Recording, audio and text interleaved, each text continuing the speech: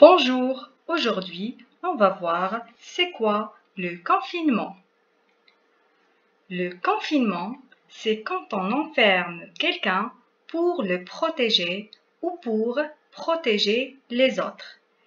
Ainsi, quand quelqu'un est malade, on le met au confinement pour qu'il ne contamine pas d'autres personnes. Ça veut dire qu'il ne fait pas passer la maladie à une autre personne proche de lui. Ou on confine toutes les personnes pour éviter qu'elles tombent malades.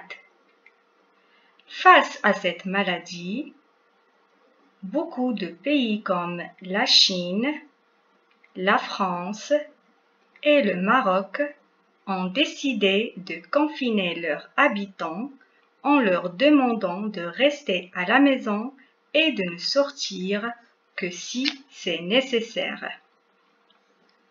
Le confinement touche des milliards de personnes dans le monde. Mais pourquoi c'est bien de faire le confinement alors?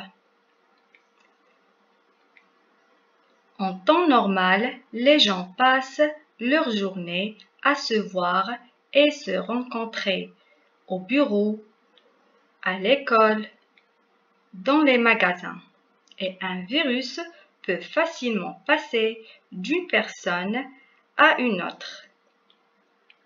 Avec le confinement, les personnes ne vont pas se rencontrer beaucoup, donc la maladie ne va pas se transporter à d'autres personnes. Mais le confinement n'est pas la seule solution. On cherche aussi des médicaments et un vaccin. Mais ces recherches peuvent prendre beaucoup de temps. Alors la solution maintenant, c'est le confinement.